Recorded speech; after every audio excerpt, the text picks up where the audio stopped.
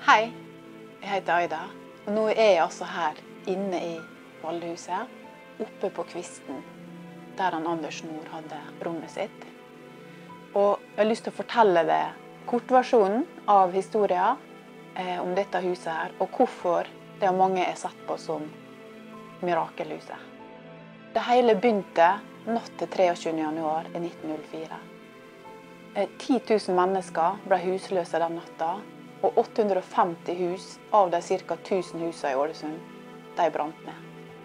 Ett hus i Grensegata ble likevel spart og sto igjen blant ruinene.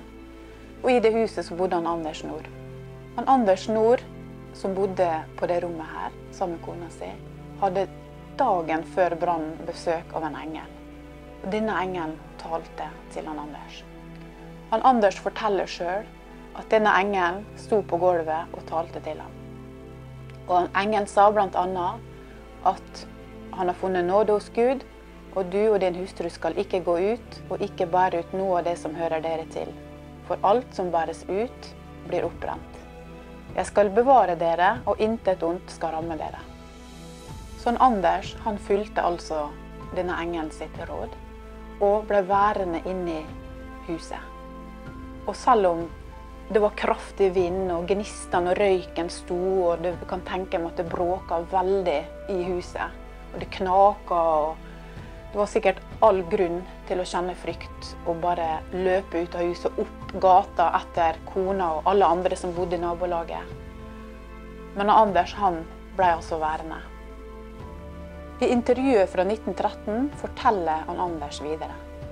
Ved middagstid var ilden helt innpå oss. Jeg slo opp i Bibelen og leste fra Salme 91, mens flammer og røk omhyllet huset.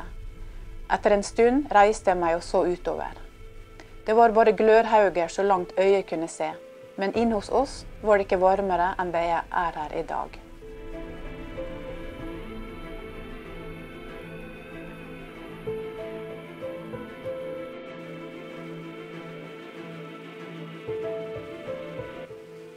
Og dagen etter brannen, da hadde det gått sånn som engelen hadde fortalt.